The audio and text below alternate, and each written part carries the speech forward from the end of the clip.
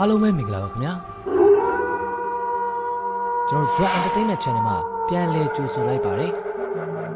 ကျွန်တော်ဒီနေ့တင်ဆက်ပေးမှာကတော့ဤသူအေးတင်စာတော့ရေးသားထားတဲ့ငစိမ့်တဲ့မတ်ပုကျွဲဆိုတော့ပြည့်မဲ့စရလေးပဲဖြစ်ပါတယ်ခင်ဗျာဒီအစီအစဉ်လေးမစတင်ခင်လေးမှာကျွန်တော် Zwa Entertainment Channel ကို Subscribe လုပ်ပေးဖို့မေတ္တာရက်ခံတောင်းဆိုပါရစေခင်ဗျာ အတစ်အတစ်တင်သမျှကိုလည်းမလွတ်တမ်းနားတော့တာဆင်နိုင်ဖို့ Subscribe ဘေးမှာရှိတော့ခေါင်းလောင်းလေးကိုလည်းနှိပ်ပေးတော့ပါအောင်လို့ထပ်မံတောင်းဆိုပါရစေငစိမ့်တဲ့မတ်ပုကျွဲ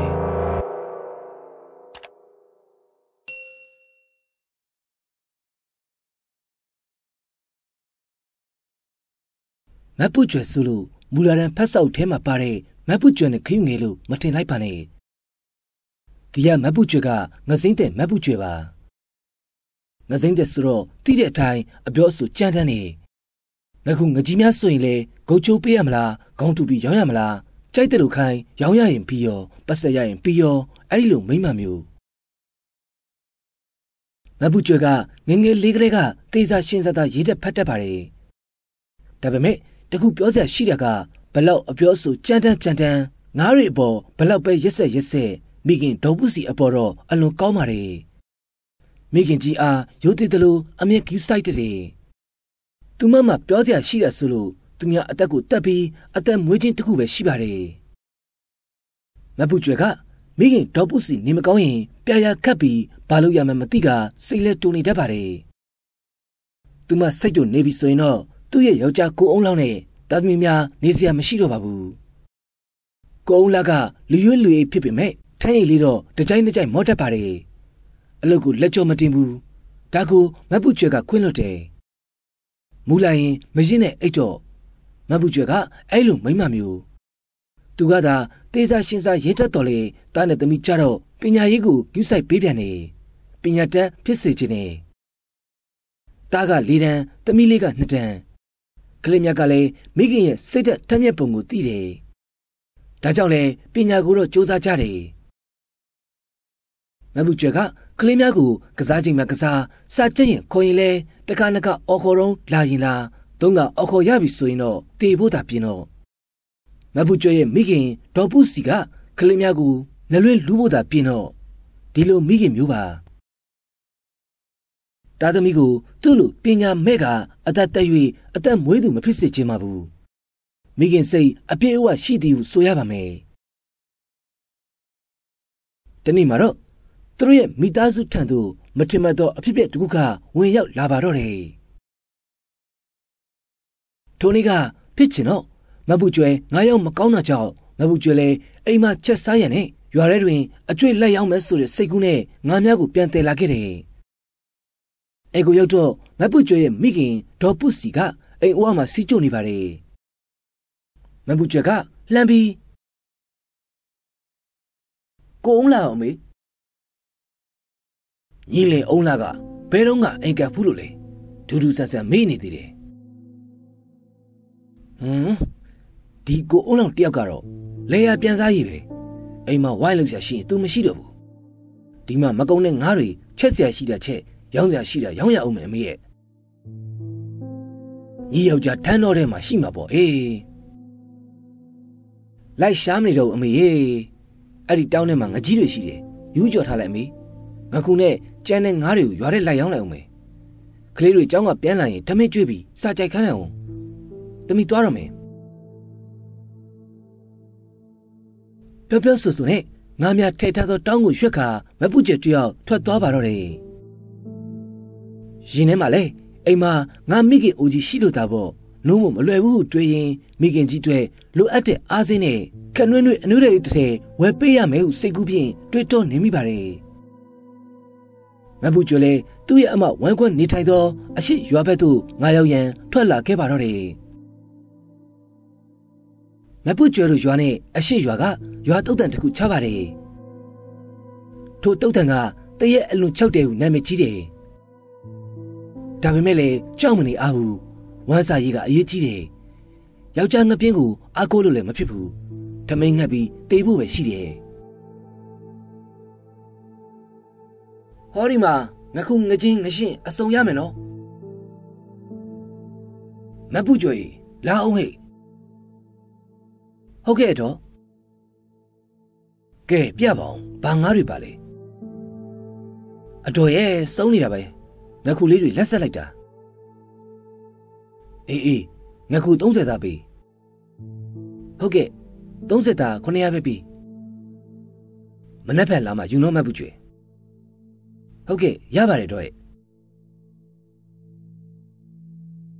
ဟောဒီမှာငါးပြို့ငါးတွေအစုံရမယ်နော်ဟေးလာအောင်ဟာဟုတ်ကဲ့လာပါပြီအဘကျော်စံ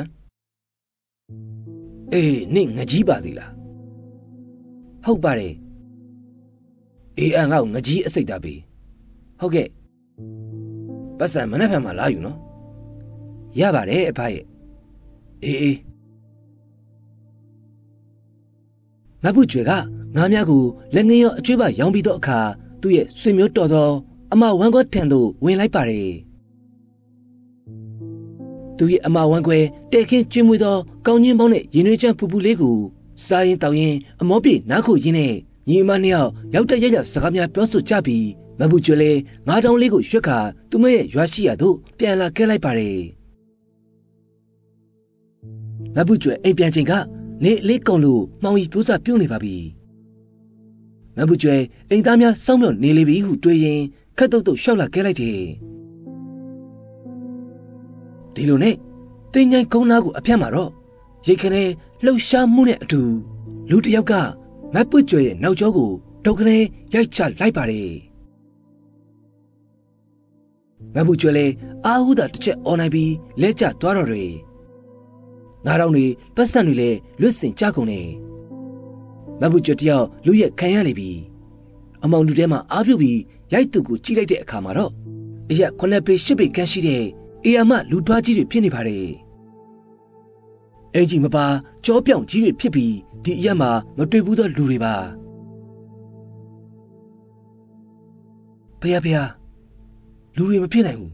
တရက်တစီတွေလား မပုကျွဲလဲကျသွားတဲ့အခါမှာတော့ထိုလူက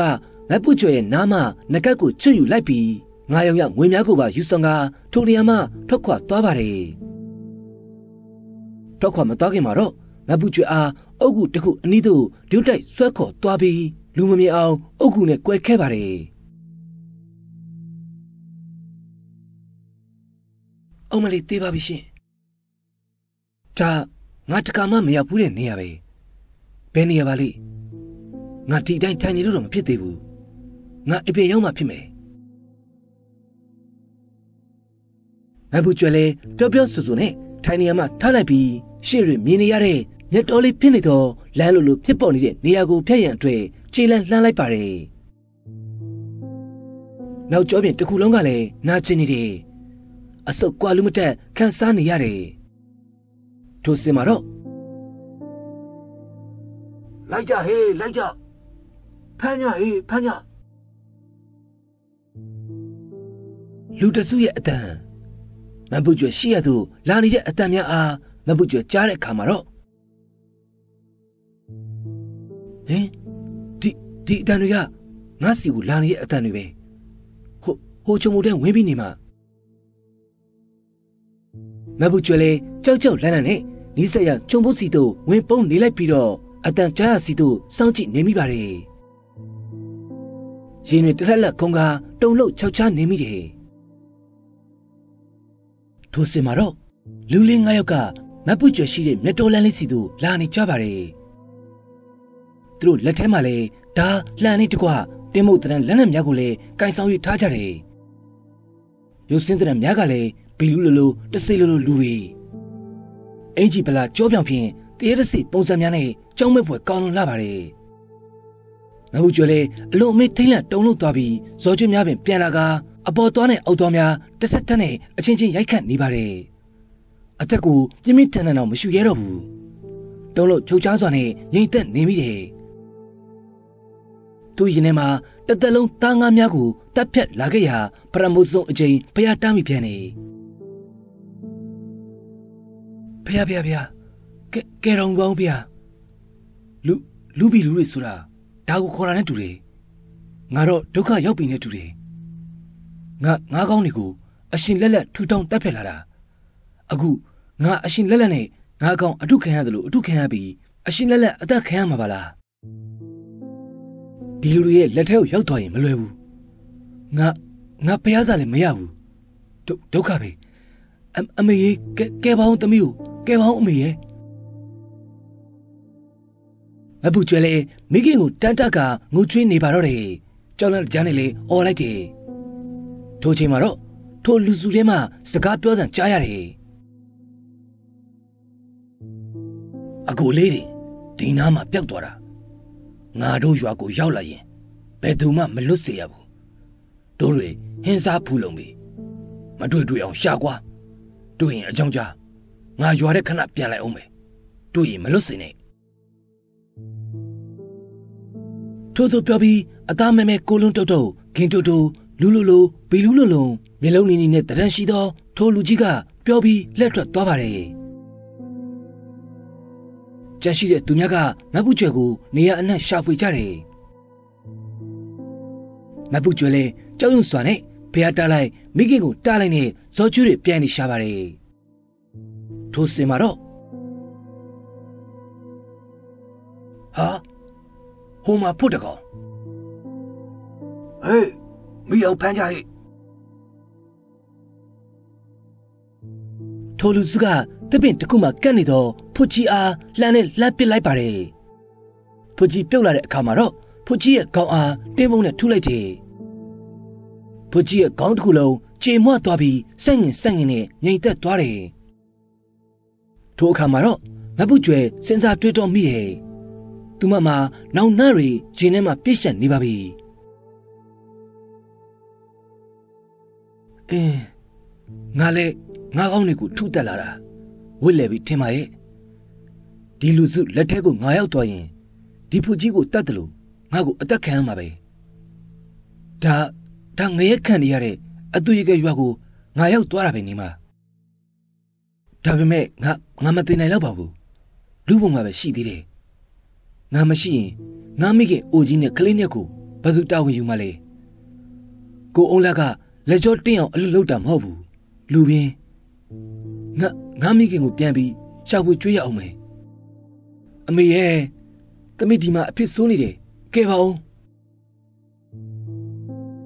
ထို့သောကြိတ်ခါအော်ဟစ်ငိုကြွေးနေပါတယ် မပူကျွဲမိခင်ကြီးမှလည်းရွာသို့ပြန်မြောက်သေးသောမပူကျွဲကိုမျှော်ပြီးမြစ်တာပို့နေပါတယ်တမက်အုံးလာလေဘယ်နေရာမှာမူပြီးလဲနေမှမသိကလေးနှစ်ယောက်ကတော့အိတ်နေပြီမိခင်ဖြစ်သူကအိတ်ရှိကုပစ်တွင်ထိုင်ပြီးတမိပြန်အလာကိုမျောနေမိတယ်ဒါပေမဲ့မပူကျွဲပြန်မလာခဲ့ဘူးမိုးလုံးကြီးမနက်6နာရီပင်ထိုးနေပါပြီမပူကျွဲရဲ့မိခင်လည်းမပူကျွဲစောင်းရင်းနဲ့မိုးချုံမရုတ်တရက်အိပ်ပျော်သွားတာကြောင့် မနဲ့မိုးလင်းမနိုးလာခဲ့ပါတယ်။နုံနုချင်းတမိမပုတ်ကျွဲကိုတရိယာသွားတယ်။ညကတမိအိမ်မပြန်လာရလားမသိဘူး။အခန်းထဲဝင်းကြည့်အောင်မှကလေးတွေအဲ့နေတော့ခြံကိုလှမ်းကြည့်လိုက်တော့လေတမိကိုမတွေ့ရဘူး။ဒါကြောင့်ပိုးပြီးစိတ်ပူပန်သွားမိတယ်။ရင်ထဲမှာလည်းတုန်ခါသွားတယ်။သူဘယ်လိုလုပ်ရပါမလဲ။ ဟဲ့အုံးလားနင်ဘယ်အချိန်ကအိမ်ပြန်ရောက်လာတာလဲအဲ့ရှိကုတ်ပြကြီးမှာအိမ်နေလိုက်တာအပူအပင်ကိုမရှိဘူးသူကတော့အရက်ကလေးတမြမြနဲ့ငါသမီးကဘယ်ရောက်နေလဲမသိဘူးကိုမိမမရှိလို့မရှိမှန်းလည်းမသိဟောဒီအမိုက်ကောင်တော့တကယ်ပဲဟေးအုံးလားဟဲ့အုံးလားထားအုံးဟာဒေါ်ပုစီလေစိတ်ဆိုးမှဆိုနဲ့ သူ့တမတ်အားအတင်းနှိုးလိုက်ပါတယ်ဒေါသထွက်ကကုန်းအောင်လိုက်တော့မှအုံလာကအရှိမူဒူနဲ့ပြူတူပြဲတဲ့ထထိုင်လိုက်တယ်ဟမ်ဘာဖြစ်လို့လဲဟာငါပူကြွရလဲဟဲ့ပူကြွယ်မဟုတ်ဘူးနင်မိမမပူကြွယ်အင်ကိုပြန်မြောက်သေးဘူးအဲ့ဒါရှာဟုတ်ထောင်ဟာဗျာအမေရလဲအဲ့လိုကောင်းနေကြတော့အတင်းလားနှုံးနေတယ် ပူကျွဲကလေးမမဟုတ်တော့ငါးသွားယူဈေးတောင်ထွက်လာပြီဟမ်ဘာဖြစ်လို့လဲဟာငါပူကျွယ်လေအိမ်ဟဲ့နေမိမမက်ပူကျွေကညတဲ့ကပြန်မလာတာဟဲ့ထရှောင်းငါကလည်းကလေးတွေနဲ့မျက်စိကလည်းမကောင်းဘူးခြေထောက်ကလည်းမပန်းဘူးတောင်းရှာပါအောင်ဟာဟမ်အမေဟုတ်ရဲ့လားဗျာပူကျွေကညတဲ့ပြန်မလာဘူးဟုတ်လားအာဒီမိမမဟုတ်မှလွယ်ရော လင်ငယ်နောက်လိုက်သွားတာထင်တယ်ဟဲ့အကောင်ရဲ့မရိုင်းလာကြည်လားနင်တို့စားဖို့တောက်ဖို့စီးပွားရှားနေတာလေပေါက်ပေါက်ရှားရှားဟဲ့မနေ့ကငားတွေမကုန်လို့ဟိုဘက်ရွာမှာတွားရောက်တာဟဲ့ဟင်ဟုတ်လားဘာလို့တွားရလဲအပြန်နေဆောင်ရင်တင်းငယ်ကိုဖက်ပြန်မှာအနေရာကြီးကကြီးနေပူကျွတယောက်တော့ဒုက္ခရောက်ပြီနေတူလေအမေရဲ့ဒုက္ခပါပဲဒါတွားရှောင်းမယ် ရွာရဲကိုဘိုးသားကြီးဝင်းခေါ်လိုက်အောင်မယ်အေးအေးအေးတုတ်တုတ်ပြပြထွက်သွားတဲ့တမက်ရဲ့နောက်ကျောပြင်းကိုကြည့်ပြီးဒေါသထွက်ကတမိပုကျွယ်ကိုအနေမရှိပဲပြန်ရှာတွေ့ရတာဆူတောင်းနေလိုက်တော့တယ်ထိုချိန်မှာတော့အုံလာကရွာထဲကိုဝင်ကကိုဘိုးသားအဝင်ခေါ်ပြီးအကျိုးကြောင့်ရှင်းပြလိုက်တော့တယ်ဟာ အုံလာရအခုမှသိရလားကွာတဲပေါ့စားရပဲကလာလာအချင်းရှိတော့အရှိရွာကိုလိုက်ရှာအောင်ကိုအုံးလာနဲ့ကိုဘိုးသားတို့နှစ်ယောက်မပူကျွဲကိုရှာရန်အတွက်အရှိရွာသို့ထွက်လာကြလိုက်တယ်အရှိရွာကိုရောက်တဲ့အခါမပူကျွဲတို့ရဲ့အမဝမ်းခွက်အိမ်သို့ဝင်စုံစမ်းတဲ့အခါမှာတော့6နာရီလောက်ကပင်ပြန်သွားကြောင်းသူနဲ့အတူကောင်းကြီးမစားနေတာကြောင့်ညနေနေဝင်ရီတရောအချိန်ကြာမှပြန်သွားကြောင်းသိလိုက်ရတယ် ဒီလိုနဲ့အရှိရွာကိုတွားကရွာသားများကိုအကျိုးကြောင့်ပြောပြလိုက်တယ်။ထိုရွာသားများကတင်းငိုင်းတို့ဝင်ရောက်ရှာဖွေတင်ကြောင်ပြောပြကြတယ်။ထိုတင်းငိုင်းကနေကင်းပိုင်းမှာတော့တယောက်တည်းမပြတ်ရဲလောက်ကိုနာမည်ကြီးလို့ပါတယ်။မပူကျွဲအန်ရတခုခုကြုံနေဒီမှာတေချာတလောက်ပြီဖြစ်ကြောင်းအကြောင်းသိရွာသားကရှင်းပြပြီးရွာသားနှစ်ယောက်သုံးယောက်ကအုံလားနဲ့အတူဝိုင်းဝန်းရှာဖွေရန်အတွက်ဒုတ်တွေဓားတွေကိုဆွဲကထွက်လာခဲ့ကြတယ်။ တင်းငိုင်းကိုရောက်တဲ့အခါမှာတော့မပူကျွေအားတတိမင်းမျောလျက်တွေ့ရှိကြပါတယ်။အုံလာနဲ့ရွာသားအချို့ကမပူကျွေကိုရွာသို့ပြန်ခေါ်လာကြပြီးစိတ်ကူတပေးကြတယ်။ထိုအချိန်ထိမပူကျွေဟာမင်းပြောနေသေးပါ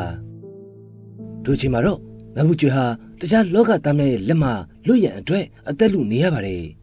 ။မပူကျွေလည်းငိုချွေးနေရမှဖျားစာများကိုရသလောက်ရွတ်ဖက်က တောဆောင်နဲ့တောင်ဆောင်နဲ့များအားမြစ်တာပို့နေပါတယ်။မဘူးကျင်ကကြားဘူးနောက်ကဖြစ်တဲ့သစ္စာဆိုရင်ပိုးရောက်ထိရောက်ပြီးသစ္စာမှန်ကန်ပါကအန်ရဲ့အတွေ့အထွက်ကပင်လွမြောက်သည်ဟုယုံကြည်ကကျမမဘူးကျွဲငါများကိုရက်ဆက်စွာတက်ဖက်၍နှစိမ့်တဲ့အလုပ်ကိုလုတ်ကန်ဆောင်းတော်ဒီမှာမှန်ကန်ပါသည်ဖေ။ထိုရလာသည့်အမျက်ငွေဖြင့်တပည့်တော်မိုက်ဖခင်စုံပါသွားစဉ်ငယ်စဉ်အခါကပင် တပည့်တော်ဟာပင်မကြီးစွာနဲ့ရွာစဉ်လှက်ကငားရောက်၍မိခင်အိုကြီးကိုလောက်ကကျုံဝေပြုစုလာခဲ့သည်မှာယခုချိန်ထိဖြစ်ပါတယ်။ထိုမှန်ကန်သောတစ္ဆာတရားကြောင့်ယခုတင်ပေးမှလွတ်မြောက်ပါစေသာ။ထိုကဲ့သို့တစ္ဆာပြုလိုက်ပါတယ်။ထိုအချိန်မှာတော့မပုကျွရှိရသူလက်တွင်စေးမင်းကြောင့်များကိုထိုးထားပြီးပစိုးအနိကွက်ဝစ်စင်ထားသောအဖို့တူရောက်လာခဲ့ပါတယ်။ စပင်ကိုလည်းရောင်တစောင်းထုံထားတယ်။အဖိုးအိုရဲ့လက်ထဲမှာတော့ပလူလေးတစ်ချောင်းကိုကင်ဆောင်ထားတယ်။ပလူကဝါပလူလေးတစ်ချောင်းမှာအဖိုးကထွက်ခက်သမီးထွက်ခက်လေးကိုခေါ်လိုက်တယ်။ငါဘူးကျွေလေးခြုံထဲမှာထွက်လာခဲ့တယ်။ဒါပေမဲ့ကြောက်လွန်းတာကြောင့်အဖိုးအိုကိုတေးချတော့မောမကြည့်ရဲပါဘူး။အဖိုးသမီးကိုမတတ်ပါနဲ့အဖိုးရဲ့ ထိုအခါအဖိုးကညင်တာသောအတန်ဖြင့်ဟဲ့ညီကိုငါကယ်ဖို့လာတာငါနောက်ကလိုက်ခဲ့ဟုတ်ဟုတ်ကဲ့ဖို့မဘူးကျွဲလေအဖိုးရဲ့နောက်မှလိုက်သွားလိုက်ပါတယ်အဖိုးကရှေ့မှပလွေကိုမှုတ်ပြီးဦးဆောင်ကမဘူးကျွဲကိုခေါ်ဆောင်သွားပါတယ်ပလွေမှုတ်ရလမ်းလျှောက်မှာတော့မိသည့်အန်ရဲမှမတွေ့ရတော့ပါဘူး ဘလူးသေးလို့လူတွေကိုလည်းမတွေ့ရတော့ဘူးထိုလူတွေဘယ်ရောက်သွားပါလိမ့်ကဲသမီးအဲ့ဒီလမ်းတက်တဲ့သာပြန်သွားညီအိမ်ရောက်လိမ့်မယ်စိတ်ချပြီးသွားဘယ်ဟာတရားမြဲပါမကောင်းမှုကိုမလုပ်ပါနဲ့ဟုတ်ကဲ့အဖိုးငါဘူးကျွဲလဲအမြင်မသိအဖိုးကကြော့ကထွက်လာခဲလိုက်ပါတယ် နောက်မှပလွေမှုတ်တန်တက်တက်ကိုကြားနေရတယ်ငါဘူးကျွဲရဲ့ခန္ဓာကိုယ်ကတည့်ရွက်ကလေးလိုလေထဲမှာလွင်မျော၍လွင့်ပါသွားပါတယ်ပလွေတန်ဟာတဖြည်းဖြည်းနဲ့ဝေး၍ဝေး၍ကြံခဲ့တော့တယ်ရေရေပေးပါညီးတဲ့ဖြင့်မတ်ပုကျွဲတတိရလာခဲ့တယ်ဟမ်တမိတမိတတိရလာပြီလား ဟဲ့အုံးလားနမိမနိုးလာပြီရေပေးစမ်းမောင်တမရေတောင်းနေတယ်ဗျာဟုတ်ဟုတ်ကဲ့အမေကိုအုံးလားကျမမသေးလို့ပြန်ရောက်လာတာမတ်ပုကျွဲကမိခင်ကြီးကိုဖက်၍ရှိုက်ကြီးတငင်ငိုပါတယ်ထို့နောက်နှစ်ကြိုက်စွာအိပ်ပျော်သွားပြန်တယ်အဲ့ရမှနိုးလာတဲ့အခါမှာတော့အမေနဲ့ကိုုံလာ ကျမဒီ9ယောက်နဲ့အလုပ်ကိုမလုပ်တော့ဘူးတခြားအလုပ်ပဲပြောင်းလုပ်တော့မယ်ထို့တော့ပြောပြီးမဘူးကျွဲလဲကြုံတွေ့လာသောအဖြစ်ပြက်အန္တရာယ်များကိုရင်ဖွင့်ပြောပြလိုက်ပါတယ်ကောင်းတာပေါ့တမိရဲ့အမေဝမ်းသာတယ်ကွယ်လွန်သွားတဲ့အဖေသိရင်အယံဝါတာမှာတမိရဲ့တမိရဲ့အဖေကတတ္တဝါတွေရဲ့အသက်တက်တာမကြိုက်ဘူးမွေးနေ့အခါကြီးရက်ကြီးလို့ဆိုရင်ဥပုပ်စောင့်နေ အသားငါရှောင်းနေဖေရတရားအလွန်ယိုသေးကိုင်းဆိုင်နေတမိအခုလိုအမြင်မှန်ရပြီအသားအငါမယောင်းတော့တာသိရင်ရောက်ရဘွားကနေပြီးတာရုခေါ်နေမှာမေလေအယံဝမ်းတာတယ်တာရုတာရုတာရုပါတမိရဲ့မဘူးကျွဲမိခင်ကမျက်ရည်များစီးကျလာပြီးတာရုခေါ်ပါတော့တယ်ထိုချိန်မှာတော့မဘူးကျွဲတို့ရဲ့အိမ်ကုန်းရင်ဖျားကြောင်ဆောင်ထောက်ရှိရာ ဖျားကြောင်ဆောင်ရဲ့နေရာမှာအိမ်မြောင်တကောင်းကြီးကျဲလောင်ဆောင်စုပ်ထိုးတံကမြည်ထွက်ပေါ်လာပြီးမဘူးကျွဲတို့အိမ်လေးတဲသို့လင်းကြီးလေးနဲ့အတူအမွေးနဲ့တင်းသေးလေးတစ်ခုကဝေဝဲတိုက်ခတ်သွားပါတော့တယ်အားလုံးကိုအထူးပင်ကျေးဇူးတင်ရှိပါတယ်ခင်ဗျာကျွန်တော်အခုဇာတ်လမ်းလေးကိုပြီးဆုံးသည့်တိုင်အောင်နားတော်တာဆင်ပေးသလိုနောက်ပုတ်ကျွေမှာလည်းယခုကဲ့သို့ပြီးဆုံးသည့်တိုင်အောင်နားတော်တာဆင်ပေးပါအောင်လို့မေတ္တာရက်ခံတောင်းဆိုပါရစေခင်ဗျာ အားလုံးပဲကိုယ်စိတ်နှပြချမ်းသာချမ်းသာကြပါစေခင်ဗျာ